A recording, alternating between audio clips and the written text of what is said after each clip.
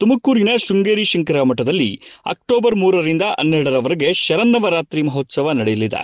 ಶಂಕರ ಸೇವಾ ಸಮಿತಿ ಆಶ್ರಯದಲ್ಲಿ ಶರನ್ನವರಾತ್ರಿ ಮಹೋತ್ಸವ ಅಂಗವಾಗಿ ಅಕ್ಟೋಬರ್ ಮೂರರಿಂದ ಹನ್ನೆರಡರವರೆಗೆ ಪ್ರತಿನಿತ್ಯ ವಿವಿಧ ಪೂಜಾ ಕಾರ್ಯಗಳ ಜೊತೆಗೆ ವಿವಿಧ ಅವನ ಹೋಮಗಳು ನಡೆಯಲಿದ್ದು, ಶಾರದಮ್ಮನವರಿಗೆ ಕುಂಕುಮಾರ್ಚನೆ ಪೂರ್ಣಾಹುತಿಗಳು ನೆರವೇರಲಿದೆ. ಬರುವ ಅಕ್ಟೋಬರ್ ಹನ್ನೊಂದರಂದು ಲೋಕ ಕಲ್ಯಾಣಾರ್ಥವಾಗಿ ಟಿವಿ ಶ್ರೀನಿವಾಸ್ ಜೋಶಿರವರ ಆಚಾರ್ಯತ್ವದಲ್ಲಿ ಬರುವ ಅಕ್ಟೋಬರ್ ಹನ್ನೊಂದರಂದು ಲೋಕ ಕಲ್ಯಾಣಾರ್ಥವಾಗಿ ಟಿವಿ ಶ್ರೀನಿವಾಸ್ ಜೋಶಿರವರ ಆಚಾರ್ಯತ್ವದಲ್ಲಿ ಚಂಡಿಕಾ ಹೋಮವನ್ನು ಹಮ್ಮಿಕೊಳ್ಳಲಾಗಿದೆ ಎಂದು ಸಮಿತಿ ಉಪಾಧ್ಯಕ್ಷ ಬರುವ ಅಕ್ಟೋಬರ್ ಹನ್ನೊಂದರಂದು ಲೋಕ ಕಲ್ಯಾಣಾರ್ಥವಾಗಿ, ಬರುವ ಅಕ್ಟೋಬರ್ ಹನ್ನೊಂದರಂದು ಲೋಕ ಕಲ್ಯಾಣಾರ್ಥವಾಗಿ ಟಿವಿ ಶ್ರೀನಿವಾಸ್ ಜೋಶಿರವರ ಆಚಾರ್ಯತ್ವದಲ್ಲಿ ಚಂಡಿಕಾ ಹೋಮವನ್ನು ಹಮ್ಮಿಕೊಳ್ಳಲಾಗಿದೆ ಎಂದು ಸಮಿತಿ ಉಪಾಧ್ಯಕ್ಷ ಎಚ್ ಕೆ ರಮೇಶ್ ತಿಳಿಸಿದ್ದಾರೆ.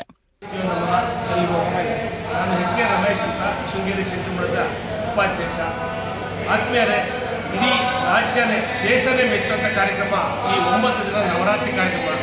ಈ ನವರಾತ್ರಿ ಕಾರ್ಯಕ್ರಮ ಶೃಂಗೇರಿ ಚಿತ್ರಪಟದಲ್ಲಿ ಯಾವ ರೀತಿಯಲ್ಲಿ ನಡೆಯುತ್ತೋ, ಅದೇ ರೀತಿಯಲ್ಲಿ ಮೈಸೂರು ಅರಮನೆಯಲ್ಲೂ ನಡೆಯುತ್ತದೆ.